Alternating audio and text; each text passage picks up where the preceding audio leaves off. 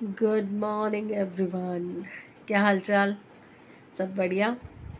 यहाँ पर भी सब ओके है।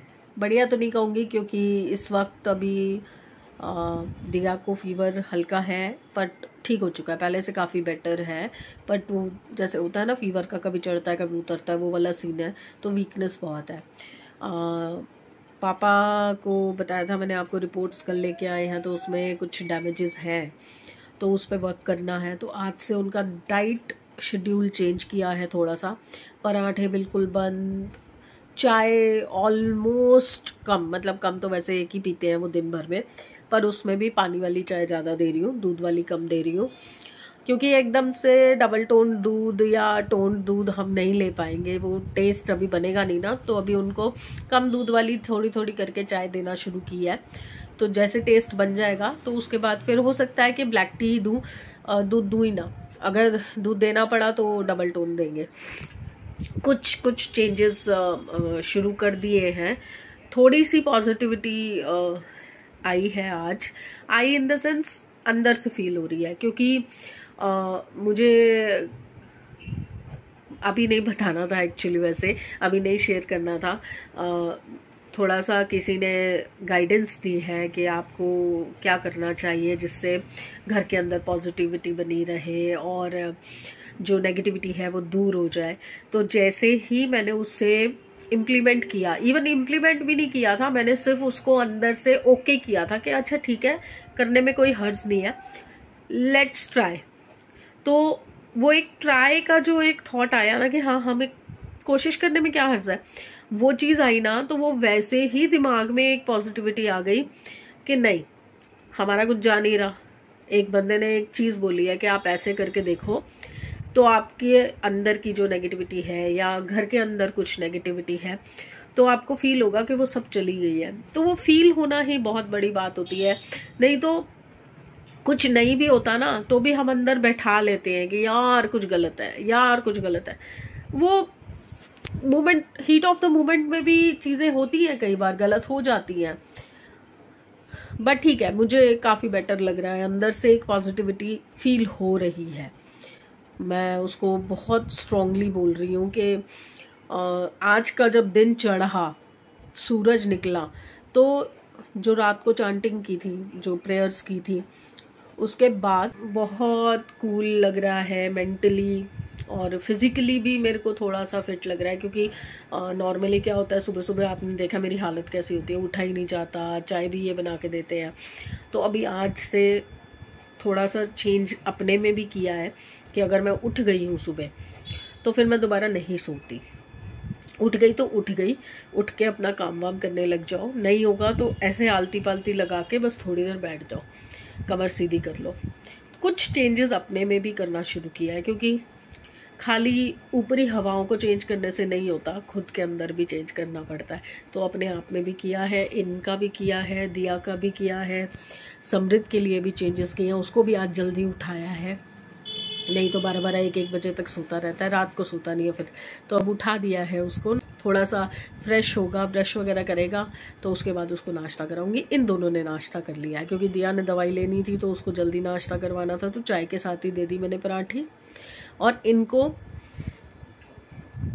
दाल के आटे के थेपले बना के दिए, जो इन्होंने चाय के साथ खा लिए। तो चीज़ें थोड़ी थोड़ी मैनेज करने की कोशिश कर रही हूँ। होपफुली आने वाले टाइम में और बेटर हो जाएँगी और चीज़ें सुधरेंगी। सेहत भी सुधरेगी और चीज़ें भी, काम धंधा भी सुधरेगा। ठीक है? क्रॉस फिंगर्स अच्छा सोच के चलेंगे। और नेक्स्ट वीक में हाँ मैंने कल रात को आपको बताया था कि मैं जा रही हूँ घूमने कहीं। घूमने इन द सेंस घर में एक छोटा सा फ़ंक्शन है। ब्रदर है मामा का बेटा उसके बच्चे का फ़ंक्शन है बेटा हुआ है उसका तो उसका फ़ंक्शन है। तो वहाँ जाना है। आ, बहुत टाइम के बाद मैं इतना लंबा सफ़र करने जा रही हूँ। जा रही हूँ दिल्ली से बाहर राजस्थान। राजस्थान में जो प्रॉपर जगह है जब जाऊँगी तो आपको लेके चलूँगी तब देखना।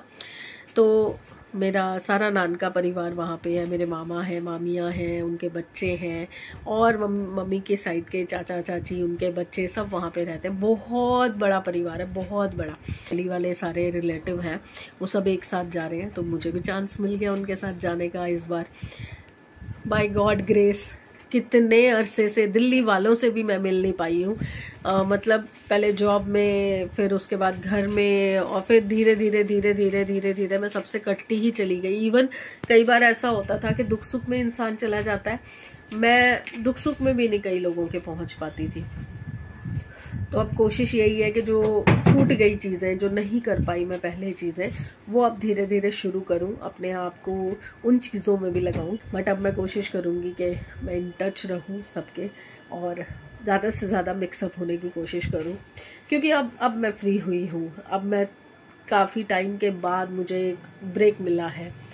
ब्रेक तो नहीं कहूँगी जो मतलब अब ठीक है जॉब नहीं कर सकती हूँ तो अब ब्रेक ही है ना एक तरह से। घर ही संभाल रही हूँ। और बच्चे इतने छोटे भी नहीं रहे कि मेरी मेरी ज़रूरत उनको हर वक्त ही है। ठीक है? थोड़ा बहुत निकलना भी चाहिए। अब वो एज आ गई है। तो अब मौका मिला है तो अब अपने सभी रिश्तों के साथ उठना, बैठना, मिलना जुलना करना चाहती हूँ। और होपफुली करूँगी भी। बहुत बकवास कर ली। चलिए, देखते हैं। अब ये भाई साहब उठे हैं। ब्रश वगैरह करेंगे तो अब इनको भी भूख लग जाएगी। तो नाश्ता वाश्ता करवाती हूँ। तो चलिए फिर। थोड़ी देर तक मिलते हैं अभी आपसे। आती हूँ।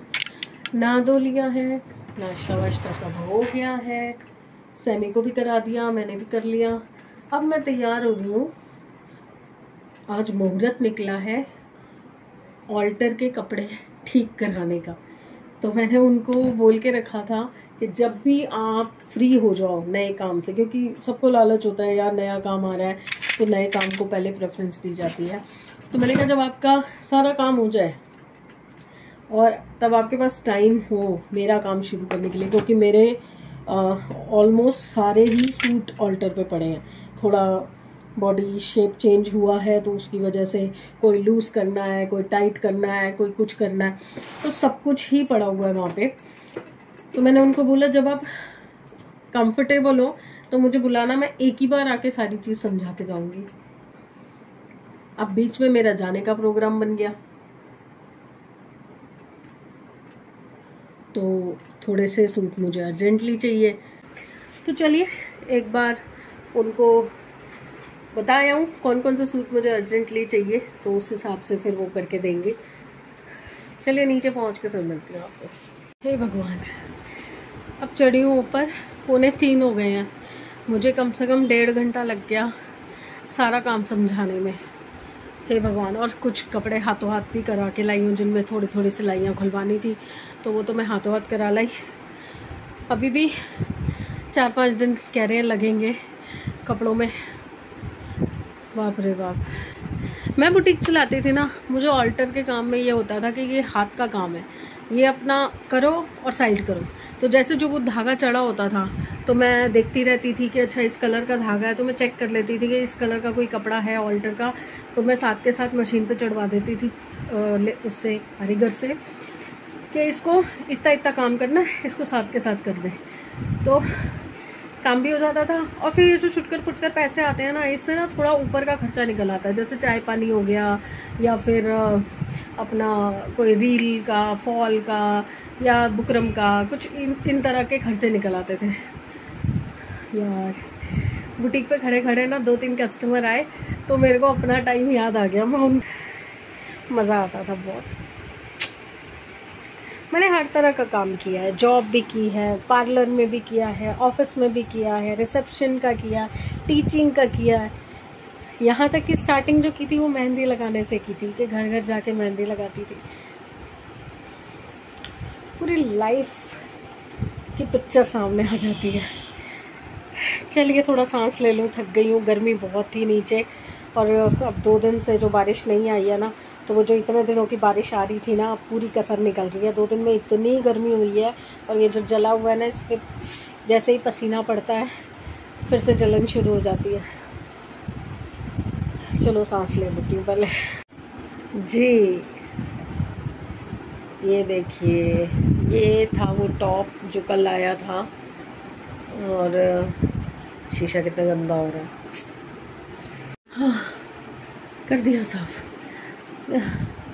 दो मिनट का काम होता है, आलस नहीं ख़त्म होता। देखिए, ये टॉप मैंने मीशो से ऑर्डर किया था, और, पहले मैंने एक्सेल मंगवाया था, पर एक्सेल में ना यहाँ फंस रहा था, यहाँ से स्पेस कम था। अब मैंने डबल एक्सेल मंगवाया तो मुझे बहुत ही कंफर्टेबल फिटिंग आई है और स्टफ़ भी बहुत प्यारा है, बहुत कूल डूल एकदम मस्त और बड़ी प्यारी फिटिंग आई और ये जीन्स भी मैंने जीन्स नहीं है जैगिंग है डेनिम की वो बहुत कंफर्टेबल है। मैं सारा दिन पहन सकती हूँ, कहीं आना जाना हो, कुछ करना हो, मेरे को बहुत अच्छा लगता है इसको पहन के। तो ये मेरा आज का लुक है। कैसा लग रहा है? बताना। क्या मैं पहले से थोड़ी पतली लग रही हूँ? क्या आपको लगता है कि मैं थोड़ी सी पतली हुई हूँ? क्योंकि मुझे थोड़ा सा फील हो रहा है कुछ कपड़े ये जी, जीन्स जो है वो लूज़ हो गई है। पर कहाँ से हो रहे हैं? कुछ समझ नहीं आ रहा। तो अब मैं जा रही थी। अरे मम्मी! आ, कुछ खाने के लिए बनाने क्योंकि आ, जब सब घर पे होते हैं ना तो लंच ब्रंच सब इकट्ठा हो जाता है। तो दिया को सुबह पराठी खिला दी थी, उसके पापा को थेपले खिला दिए थे। पर जिनको पराठों की आदत हो, उनका थेपले से क्या बनना है? पर एज पराठे डॉक्टर ने मना कर दिए हैं, अब बिल्कुल नहीं खाने हैं। तो इसलिए उनको भूख लग गई थी दोबारा। तो मैंने उनको सादे फुलके के साथ दाल, क्योंकि दाल का ही आटा गूंदा हुआ था। प्लेन आटा गूंदा नहीं हुआ था तो दाल वाले आटे की ही मैंने रोटी बना दी थी। रात की सब्ज़ी थोड़ी सी बच गई थी तो उसके साथ उनको अच्छी लगी तो उन्होंने वो खा लिया। तो वो जब खा रहे थे तो दिया को भी सब्ज़ी स्वाद लगी थी तो दिया ने भी दो रोटी खा ली साथ में बैठ के। तो वही मतलब कुछ भी जो बन रहा है, खाए जाओ खाए जाओ, वो वाला हिसाब हो रहा था। मैंने दाल वाले आटे की एक पराठी खाई थी। तो अब बज गए हैं छः और मुझे और दिया दोनों को लग रही है भूख। और चाय का भी टाइम हो गया। तो मैं बनाने आई थी चाय तो साथ साथ मैंने सोचा कि मैं आज नमकीन सेवियाँ बनाती हूँ। नमकीन सेवियाँ मैंने अभी तक आपको ब्लॉग में दिखाई भी नहीं होंगी शायद। तो आज नमकीन सेवियाँ मैं कैसे बनाती हूँ, वो आपसे शेयर करने जा रही हूँ।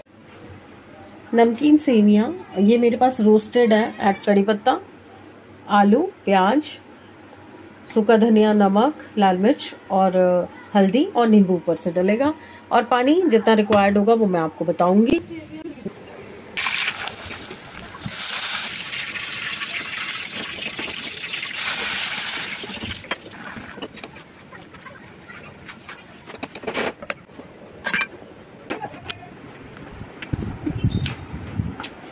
आइए, चाय पी लीजिए।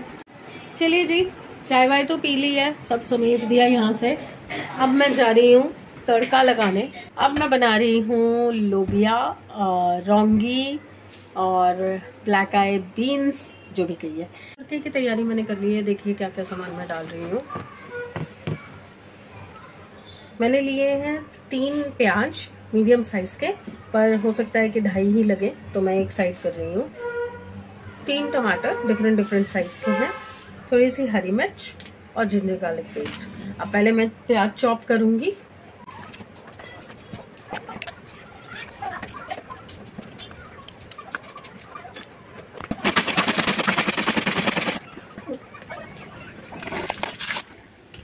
चलिए जोत तो चल गई और ये बाबा जी का भगत आ जाता है जोत के टाइम पे। अब तड़का कंप्लीट करती हूँ।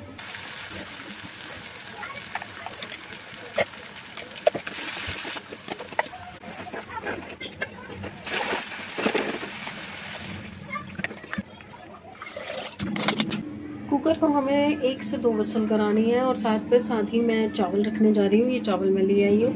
एक गिलास चावल। ये मैं रखने चढ़ाने जा रही हूँ। तो अब किचन का काम यहाँ से ख़त्म करके फिर अंदर जाऊँगी। फाइनल टच दे दिया था। और ये देखिए, ये बन चुकी है। चावल भी मेरे बन चुके हैं। और खिड़की पे बैठी है छिपकली जिससे मुझे लगता है बहुत डर। इसलिए मैं इनको अच्छे से कवर कर रही हूँ। और ये बस खाने लगे हैं खाना। और खा के फटाफट से सोएँगे क्योंकि सुबह जल्दी उठ गए थे। उसके बाद पूरा दिन ऐसे ही काम में इधर उधर इधर उधर करते करते मैं निकल गया। तो मैं आई थी अब आपको गुड बाय कहने के लिए। तो गुड बाय फ्रेंड्स कल फिर मिलते हैं नया दिन, नई शुरुआत। देखते हैं कल का दिन क्या लेके आता है। तो please please please like subscribe and share the videos bye